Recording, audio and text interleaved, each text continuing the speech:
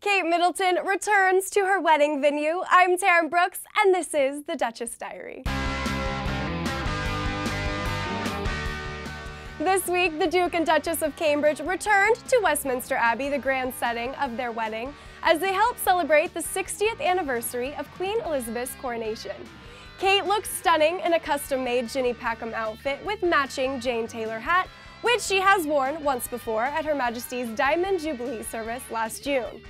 Last week, the Duchess also attended a garden party at Buckingham Palace in London, hosted by the Queen.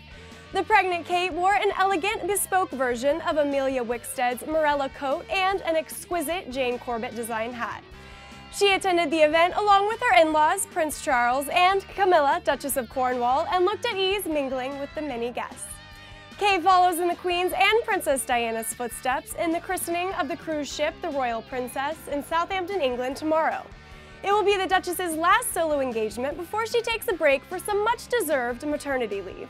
Stay tuned to Celebuzz for full coverage. Don't forget to tweet us at The Duchess Diary and share your favorite K moments of the week. We'll get together next week for a celebration of all things royal.